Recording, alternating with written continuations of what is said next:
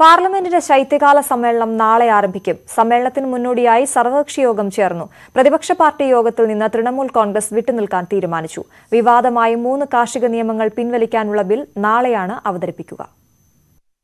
Covid മാനദണ്ഡം പാലിച്ചുകൊണ്ടാണ് ഇത്തവണയും ലോക്സഭയും രാജ്യസഭയും ചേരുന്നത്. വർഷകാല സമ്മേളനം പോലെ ബഹളമയം ആകാതിരിക്കാനാണ് കേന്ദ്ര സർക്കാരിന്റെ നീക്കം. സഭാ നടപടികൾ സുഗമമായി നടത്താൻ എല്ലാവരും സഹകരിക്കണമെന്ന് സർവകക്ഷി യോഗത്തിൽ സർക്കാർ ആവശ്യപ്പെട്ടു. പുതിയ കാർഷിക നിയമം ഔദ്യോഗികമായി റദ്ദാക്കാനുള്ള ബിൽ നാളെ അവതരിപ്പിക്കും.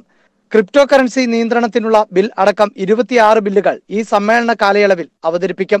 ഉത്തർപ്രദേശിലെ തെരഞ്ഞെടുപ്പ് മുന്നിൽ കണ്ട് എസ് സി എസ് ടി ഭേദഗതി ബിൽ സർക്കാർ കൊണ്ടുവരും.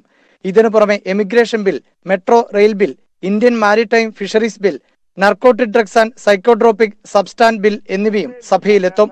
അതേസമയം ഇന്ധന വില വർധനവ് കർഷക സമരം ലഖിംപൂർ ഉൾപ്പെടെയുള്ള വിഷയങ്ങൾ പ്രതിപക്ഷം ഉയർത്തും. കഴിഞ്ഞ സമ്മേളനത്തിൽ ഉയർന്ന പെഗസസ് വിഷയം ഇത്തവണയും സർക്കാരിന് തലവേദനയാകും. സുപ്രീം കോടതി പരിഗണിക്കുന്ന വിഷയമെന്നാകും ഈ സമ്മേളനത്തിലും സർക്കാരിന്റെ പ്രതിരോധം. ഡിസംബർ ഇരുപത്തിമൂന്നിന് സമാപിക്കുന്ന സമ്മേളനത്തിൽ ഇരുപത് ദിവസമാണ് സഭാ നടപടികൾ ഉണ്ടാവുക. News eighteen Delhi.